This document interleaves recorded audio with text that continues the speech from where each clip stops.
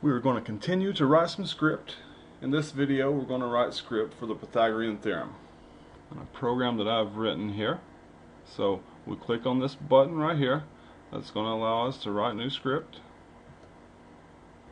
And first we do our percent to tell it what's going on. And this is going to be solving for leg, well let's just say the Pythagorean theorem.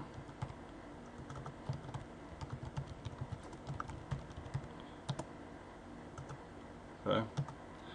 And now we when I, I like when I run this code, I want it to display what's actually about to happen. So the first thing, and you don't have to put a display in here, but I like to, and we're going to display the Pythagorean theorem a squared plus b squared equals c squared. Okay, and so we're doing the Pythagorean theorem. There's this one's a little little trickier. We need to know if the user wants to solve for a leg or solve for the hypotenuse. So first of all, I'm going to call this variable. I'm going to name a variable side. Say side equals, and then the user is going to input, and we're going to say enter one to solve for a leg enter 2 to solve for the hypotenuse.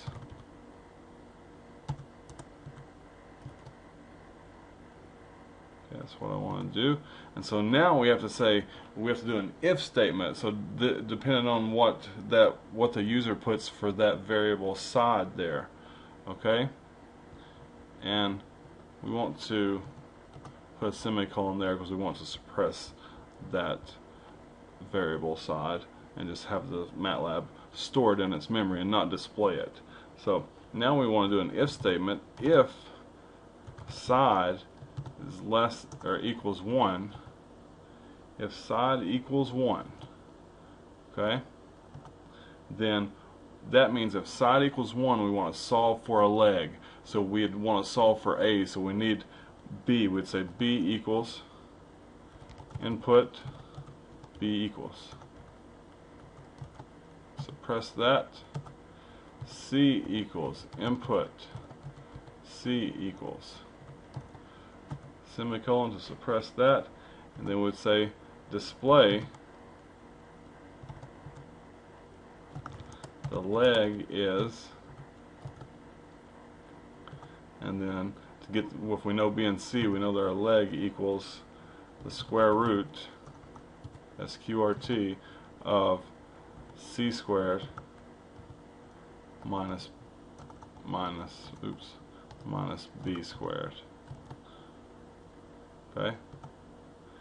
And so that would that would tell me if the user enters 1 and wants to solve for a leg. So now we'd say so we have that if statement. So if side equals 1 and now you would say else. Oops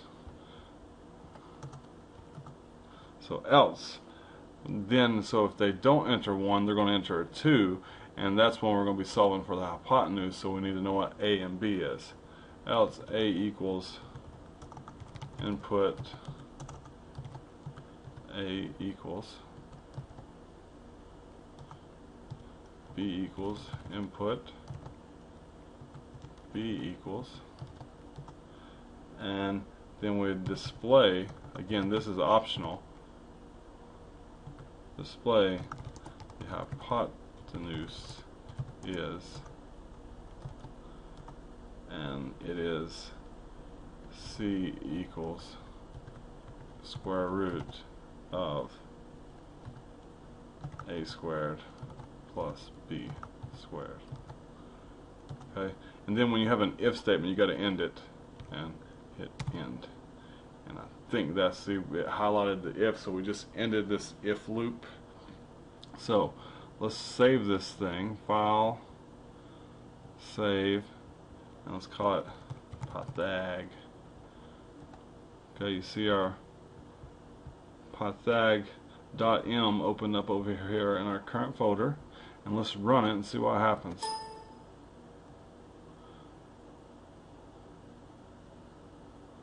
Valid target. The expression to the left of the equal sign is not a valid target. Line 4, column 8.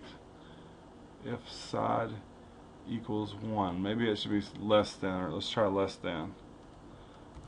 Less than or equal to 1. Okay, cool, it likes that now. Enter 1 to solve for a leg, enter 2 to solve for a hypotenuse. Let's solve for our hypotenuse. Let's do one we know. Let's do a 3, 4, and the hypotenuse is 5. Now I don't like that once I hit a equals 3 that it sent a equals 3 down there. So let's go back into it. And yeah, so here we did not suppress those outputs. And so let's leave the difference now. Okay, enter 1 to solve for a leg, 2 to solve for a hypotenuse. Let's say 2. So A equals 3, B equals 4, and the hypotenuse is 5. So let's do it again, and now let's just run it from here. And let's do Pythag, just type it in there. As long as you have the program, the script file over here in your current folder, it will run it. And so let's we'll do 1 to solve for a leg.